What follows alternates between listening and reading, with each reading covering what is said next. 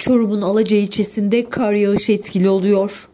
İlçede dün akşam saatlerinde sağanak şeklinde başlayan yağış sabah saatlerinde yerini kar yağışına bıraktı.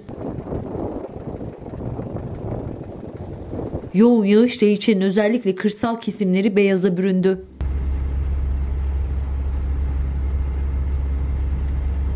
Meteoroloji tahminlerine göre kar yağışının aralıklarla gün boyu süreceği tahmin ediliyor.